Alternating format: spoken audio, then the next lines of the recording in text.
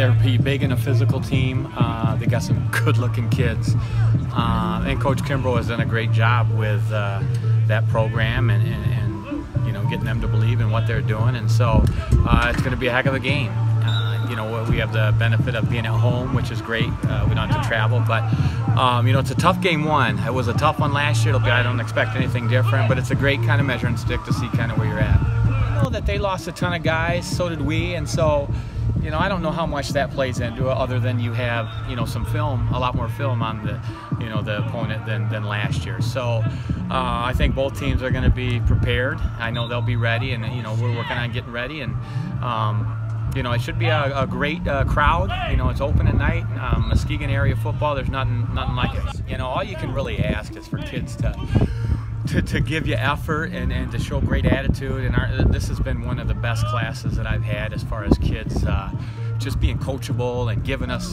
everything they have. And so uh, I'm excited. I'm excited to, to, to kind of you know put that product on the field and watch these kids uh, run around with just, just crazy energy.